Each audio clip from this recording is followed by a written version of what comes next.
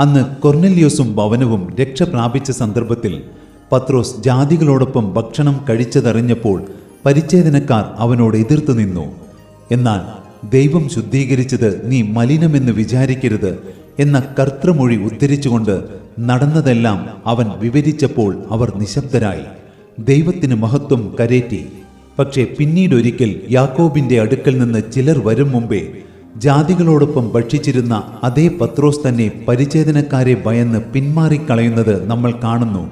അതുകൊണ്ട് തന്നെയായിരിക്കാം. മനുഷ്യനിൽ എന്റെ ആത്മാവ് സദാകാലവും വാദിച്ചു കൊണ്ടിരിക്കയില്ല അവൻ ജഡം തന്നെയല്ലോ എന്ന് ദൈവം ആദിയിൽ തന്നെ അരുളി ചെയ്തത്. അതുകൊണ്ട് സ്നേഹിത എത്രമാത്രം പ്രലോഭനങ്ങൾ നിറഞ്ഞ സാഹചര്യത്തിൽ അകപ്പെട്ടാലും ഞാൻ വീണുപോകില്ല എന്ന് നമുക്ക് വിചാരിക്കാതിരിക്കാം. യോസേഫിനെ പോലെ അത്തരം സാഹചര്യങ്ങളിൽ നിന്ന് ഓടിയകലാം. എന്തെന്നാൽ നിന്നോടുകൂടെ മരിക്കേണ്ടി വന്നാലും ഞാൻ നിന്നെ തള്ളിപ്പറയില്ല എന്ന് പറഞ്ഞ പത്രോസിനെ പിന്നീട് എന്താണ് സംഭവിച്ചതെന്ന് നമുക്കറിയാമല്ലോ. സ്നേഹിത ഇനി ഒന്നേ പറയാനുള്ളൂ. ആകയാൽ നിങ്ങൾ ദൈവത്തിന് കീഴടങ്ങുവിൻ പിശാചിനോട് എതിർത്ത് നിൽപ്പിൻ.